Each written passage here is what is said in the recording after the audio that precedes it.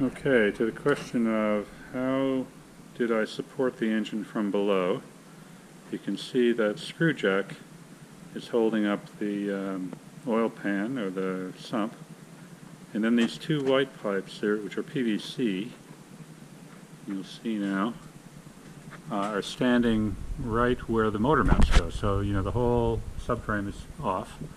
And I could support the engine with this um, and then put these exactly under place. Now, this is being filmed in April. It's a job I'm doing in March and April 2020, which means it's during the coronavirus lockdown. And this is all I had at home. I, I thought I had some six-foot um, black steel, black iron pipe that I would have preferred to use, but I had, but I couldn't find it here in my barn. Uh, I don't think I do have it. So I, uh, but I do have some of this two-inch PVC, which is more than strong enough under compression like this to hold up the weight of the engine, or half the weight of the engine. And here you go, uh, just backing down on this screw. Uh, you'll see that the engine is happily held up uh, by those other two posts. And this is what I did on here. Uh, I, you know, made this a big uh, two by ten piece of lumber plus a couple pieces of scrap wood to fill in the low spots uh, here on the bottom of the sump so I could have exactly uh, you know the pressure distributed evenly uh, around on the sump. You can see there are some flats here, here, right, and clearly to me uh, the sump was designed so the engine could stand up on a table by itself without falling over, so it's a nice stable base. I wasn't worried about the weight. And when I'm uh, when I'm working on this here, I pull the the, uh, the jack back and sit it. I take this off, and I've set the bell housing a little bit right there on the jack to give it a three points of lift, and then I was able to uh, easily remove the bolts of the sump and drop it down. But unfortunately, I don't think you can see this.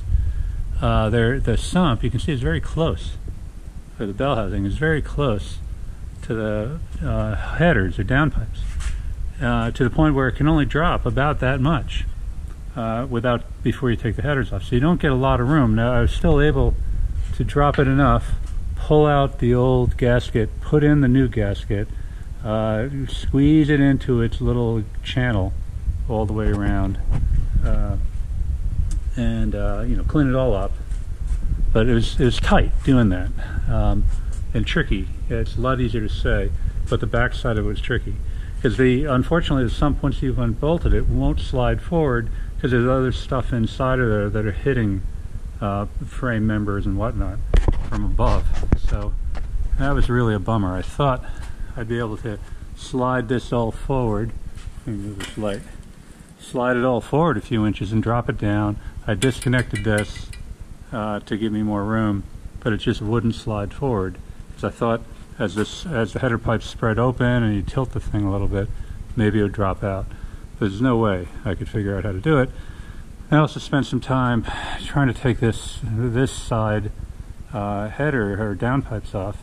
Same on the other, and just couldn't get it done here in the car. Now, with a lot more effort, maybe the problem is the um, heat shields, which make a lot of sense uh, especially the upper one, I loosened up, took all the screws up, but couldn't remove it from the car while the engine's in there, um, unless, you know, who knows how much disassembly I would have had to do. Uh, but I couldn't get it off, uh, and therefore I really couldn't very easily get to all the header bolts. If I could have, I would have, and dropped these down, but it wasn't going to happen. So luckily I was able to do the seal replacement um, right in place. Okay that's all for now.